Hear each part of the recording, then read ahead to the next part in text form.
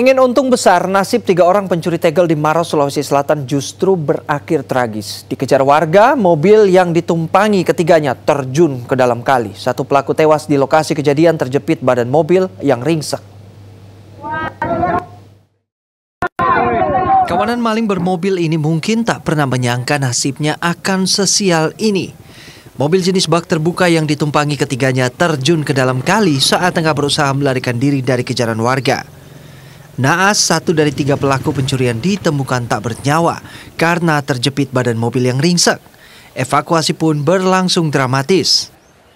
Sementara itu meski sudah memohon ampun, satu dari tiga kawanan pelaku pencurian tegel yang berhasil dibekuk warga terus dihajar.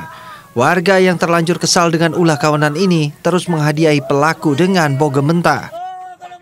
Saat dia melakukan pencurian, eh, rumah ini sementara dibangun ya, melarikan diri pakai mobil pickup. Panik akhirnya jatuh di jembatan. Untuk mempertanggungjawabkan perbuatannya, kedua pelaku lain yang diamankan terancam hukuman 7 tahun penjara. Muhammad Bakri, Maros, Sulawesi Selatan.